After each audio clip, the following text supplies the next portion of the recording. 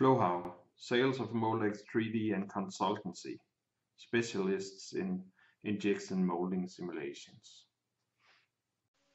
Hello, Mads Jespersen, Flowhow. In this video I want to show you how to uh, use symmetry in a Moldex3D simulation.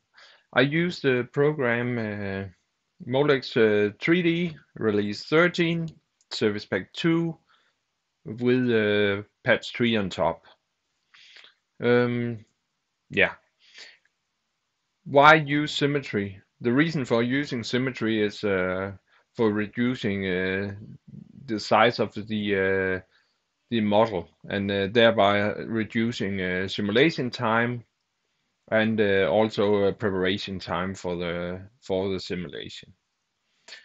Um, I'll take I'll show you how to to use the symmetry through Designer BLM and I'll uh, use a very simple case. I have this uh, CAD part with a runner system, the blue, up here, and two uh, cavities. um, what I then have done is uh, I have uh, split the things. So what I will calculate on is half the part. One cavity and a runner system with a symmetry plane defined as a, as this surface inside.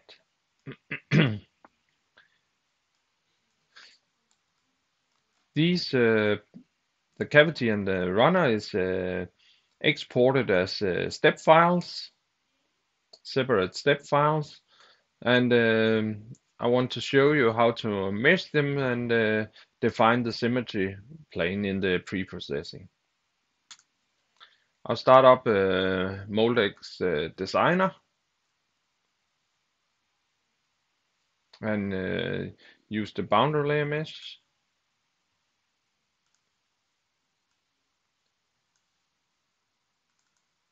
I have exported the the parts or the the part and the runner system over here and I'll just uh, put them over open. Yeah that's fine. And uh, I'll put this and import. Yep. Close this and full view with this one. Uh, this one uh, the runner I'll define as a runner put that property on uh, cold runner, hot runner. I'll put a cold runner on.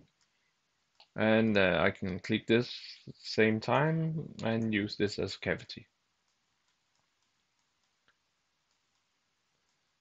Then we have a cavity and a runner. And uh, go to, uh, I need a melt entrance.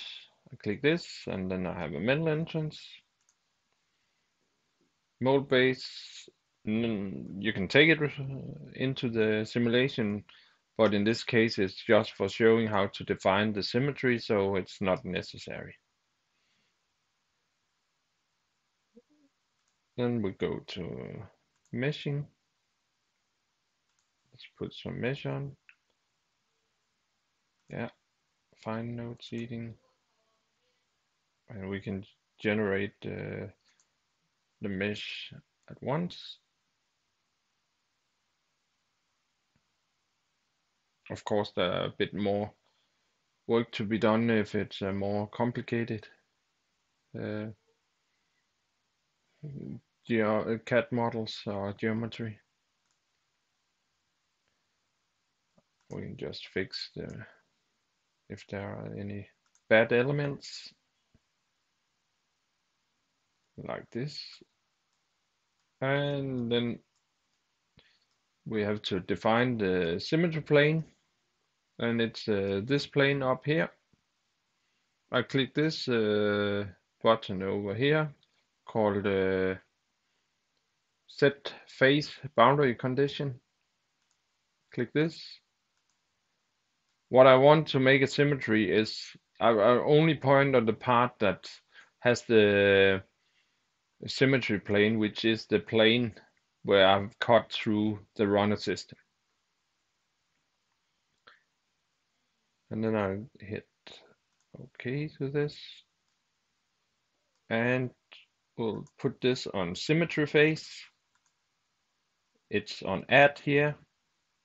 I want to add a face to it and uh, volume ratio. Volume ratio is if you have if I cut it if there were four cavities and I cut it over in the through the middle here and for example it was divided down between here then I'll put in a fourth of the part and I'll make make this symmetry and also the cut through here as a symmetry plane. But in this case I've only cut it over in halves. So I put in two here. Volume ratio one half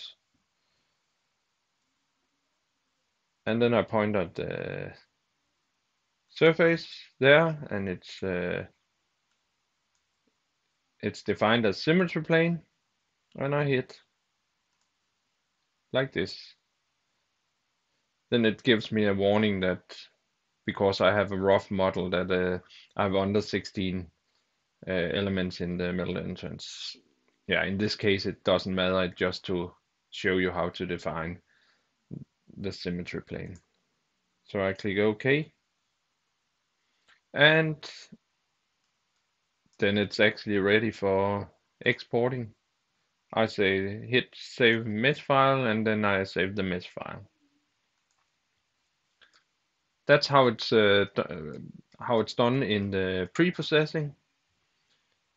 Uh, when I go to the analysis, I run the analysis uh, before, and here is the model.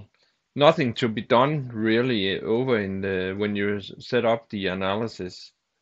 Um, but when you look at the results, okay, is it defined as a symmetry? How to check that afterwards? A good way to check it is uh, if you go to the filling and push a temperature plot you can see uh, that it is, it is around the melt temperature inside here. If it hasn't been uh, symmetry, uh, it would also have this uh, bluish uh, color on this uh, cut on this surface. So um, that's the way of of defining symmetry and using symmetry in the simulations. Thank you for this time and uh, have a nice day.